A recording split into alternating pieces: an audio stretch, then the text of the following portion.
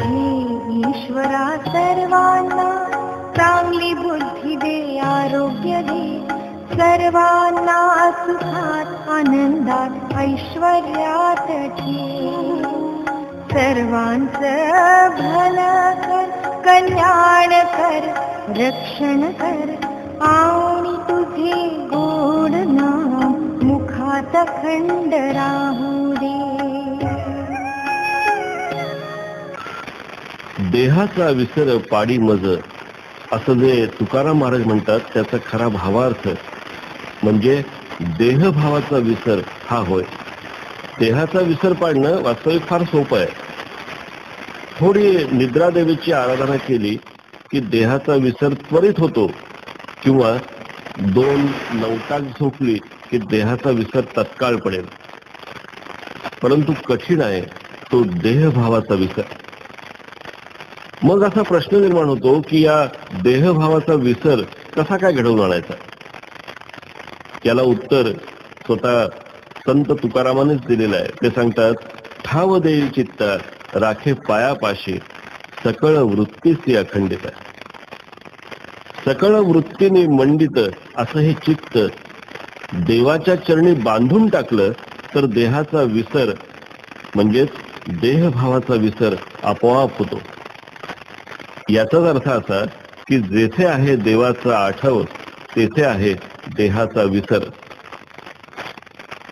पायात काटा रुतला की पाय तर सुचतोच आणि दुखतोच पण सर्व शरीराला ठणका लागतो. त्याचप्रमाणे देहभावाचा काटा अंतर्मनात खोल रुतलेला आहे आणि त्यामुळं अहंकाराची सूज येऊन जीवनामध्ये दुःखाचा ठणका लागलेला आहे. म्हणूनच तुकाराम महाराज सांगतात संसार दुःख मूळ चोहीकडे इंगळ विश्रांती नाही कोठे रात्रंदिवस तळमळ. याला उपाय एकच आणि तो म्हणजे या देहभावाचा काटा जो अंतर्मनात खोल ऋतून बसलेला आहे त्याला निपटून काढणं हवं. परमार्थ हा कठीण विषय होऊन बसलेला आहे याचं कारणही इथंच आहे. त्याचप्रमाणे साधनेच्या अभ्यासाची नितांत आवश्यकता आहे त्याचं कारणही हेच. परमार्थ सोपा आहे असं ज्यांना वाटतं त्यांना खऱ्या अर्थानं खरा परमार्थ नेमका कशात आहे हेच कळलेलं नसतं. देहभावाचा काटा सलतो आहे अंतर्मनात आणि बहुसंख्य साधकांना हे अंतर्मन हा काय प्रकार आहे हेच माहीत नसतं. मग अंतर्मनात खोल घुसून हा काटा कसा काढायचा हे कसं कळणार? इथं शब्दज्ञान किंवा शब्द पांडित्य काहीही उपयोगी पडत नाही. शब्द पांडित्यानं देहभावाचा काटा निघायला मदत तर होत नाहीच. उलट काट्याचा नायटा होण्याचा प्रकार अधिक असतो. त्याचप्रमाणे उपासनेच्या नावाखाली ज्या स्थूल स्वरूपाच्या साधना केल्या जातात आणि जे कर्मठ कडवट उपचार केले जातात त्याच्याही बाबतीत तोच प्रकार. म्हणजे काट्याचा नायता होणं हा प्रकार. देहभावाचा भवरोग हा देहाला किंवा बहिर्मनाला झालेला नसून तो अंतर्मनात निर्माण झालेला आहे. म्हणून या रोगावर वरवर मलमपट्टी करून भागणार नाही. या रोगाचं निर्मूलन करण्यासाठी जे ऑपरेशन करायला पाहिजे ते फक्त अंतर्मनात झालं पाहिजे.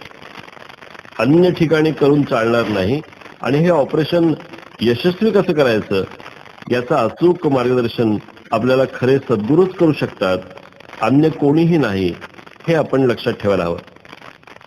थोडक्यात देहभावाचा काटा मुळासकट निपटून काढल्याशिवाय खऱ्या अर्थानं परमार्थ पूर्ण होत नाही. आता हे कसं करायचं हा प्रश्न उरतोच. त्याला उत्तर असं की काट्यानंच काटा काढायचा हे होय. देहभाव धरला की देहभाव पार रसातळाला जाऊन चित्त जडग्रंथी आपोआप सुटते. देवभावाच्या काट्यानं देहभावाचा काटा मुळासकट निपटून काढायचा असतो. आता पुन्हा प्रश्न निर्माण होतो तो असा की हा देवभाव धरायचा तो कसा? याला उत्तर असं की जिथे उठे मीचे स्फुरण तेथे घडावे विठ्ठल स्मरण. केवळ देवच आहे. मी सोम्या गोम्या म्हणून कोणी नाहीच. अशा शुद्ध आत्मभावाला घट्ट चिकटून राहणं म्हणजे देवभाव धरणं. संत सांगतात भाव धरारे आपुलासा देव करारे. त्याप्रमाणे तुका म्हणे होता ठेवा तो या भावा सापडला. इथं एका गोष्टीचं स्पष्टीकरण करणं आवश्यक वाटतं. भक्ती मार्गामध्ये भाव हा शब्द जेव्हा वापरला जातो तेव्हा त्याच्या पाठी भोळा हा शब्द जोडला जातो. भोळा भाव देवाला आवडतो. म्हणून या भोळ्या भावाची कास धरायला संत सांगतात. परंतु भोळा भाव या संबंधी बहुसंख्य लोकात अंधश्रद्धा आणि गैरसमजुती आहेत असं आढळून येतं. देवासंबंधी बावळट आणि खुळचट कल्पनांच्या आहारी जाऊन मन मानेल तसा देवासंबंधी भाव धरणं याला भोळा भाव म्हणत नाहीत.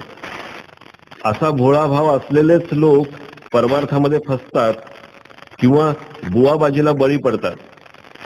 भोळा भाव म्हणजे शुद्ध भाव शुद्ध अंतःकरणाचा असा भोळा या शब्दाचा भावार्थ परमार्थ परमार्थ आहे. ज्या अंतःकरणाला देहबुद्धीचं खग्रास ग्रहण लागून राहिलेलं आहे ते अशुद्ध अंतःकरण होय. याच्या उलट आत्मबुद्धीच्या मंगल आणि पवित्र स्पर्शानं जे अंतःकरण पुनित झालेलं आहे ते शुद्ध अंतःकरण. या शुद्ध अंतःकरणात जो आत्मभाव प्रगट होतो त्यालाच देवभाव असं म्हणतात. ही देवाची भक्ती करणं वाटतं तितकं सोपं नाही. जावे साधकाच्या वंशात तेव्हा कळे. या शुद्ध देवभावाची जोपासना करत असताना माया म्हणजे काय आणि तिचा प्रभाव किती विलक्षण आहे याची खरी जाणीव साधकाला होऊ लागते.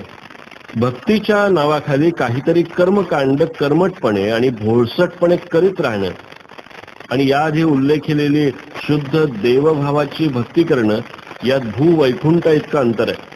काल्पनिक देवाच्या कल्पनेनं धारण केलेला शाब्दिक देवभाव हा एक प्रकारच. तर सद्गुरु कृपेनं साक्षात देवाच्या प्रत्यक्षतेनं धारण केलेल्या आत्मिक देवभाव हा दुसरा प्रकार. संतांना खऱ्या अर्थानं जो देवभाव अभिप्रेत आहे तो हा दुसऱ्या प्रकारचा. या देवभावाचा नित्य सातत्यानं अभ्यास करणं यालाच देवाचा ध्यास असं म्हणतात. या ध्यासानं साधक ध्येय वस्तूशी म्हणजे देवाशी तद्रूप होतो. या तद्रूप किंवा स्वरूपाकार झालेल्या अवस्थेत साधकाचा अहंभाव टिकलेल्या फळाप्रमाणे गळून पडतो आणि त्याच्या अंतःकरणात केवळ देवच आहे. मी अमुक सोम्या गोम्या म्हणून कोणी नाहीच. असं सहज स्मरण म्हणजेच स्फुरण स्फुरू लागतं. ज्ञानेश्वर महाराज हरिपाठात सांगतात तीर्थ व्रत नेम भावे विण सिद्धी वायाची उपाधी करीसी जना भाव बळे आकळे एरवी नाकळे करतळी आवळे तैसा हरी. थोडक्यात देवाच्या दर्शनातून देवाचा भाव उदयाला येतो आणि देवाच्या भावातून देवाची भक्ती प्रगट होते. या भक्तीलाच देव भाळतो तर कर्मटपणाला देव कंटाळतो. या शुद्ध भावाची पेरणी अंतर्मनात कशी करायची?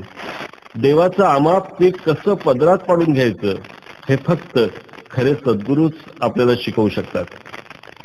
असे खरे सद्गुरू भेटेपर्यंत काय करायचं? तर त्याला उत्तर म्हणजे देवाचं नित्य नामस्मरण करीत राहणं हे होय. म्हणून ज्ञानेश्वर महाराज आपल्याला उपदेश करून राहिलेले आहेत.